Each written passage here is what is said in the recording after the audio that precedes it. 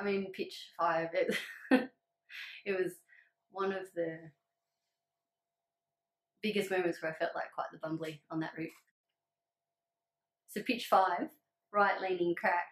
Um, so I racked up all my gear, and I usually just from when I started trad climbing, I used to always, you know, evenly put my gear on both sides.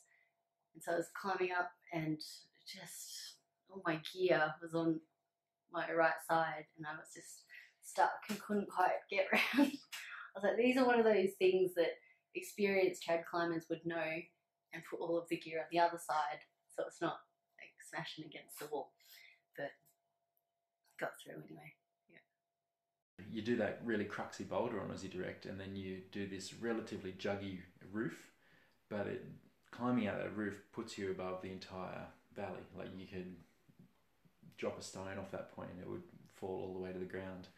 You then climb about 15 meters of this beautiful yellow bottomless corner, and although the climbing's not hard, it's just probably the most spectacular bit of climbing in Australia from a position point of view.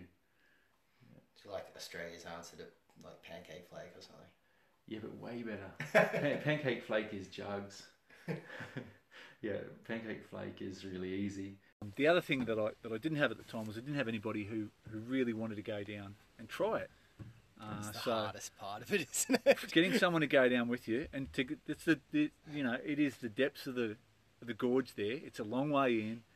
The hardest pitch is right, you know, one pitch off the deck. It's only 20 metres off the deck, and then you're into into the crux pitch. So to get it's not like going down a Shipley and trying your project. You can weasel anybody.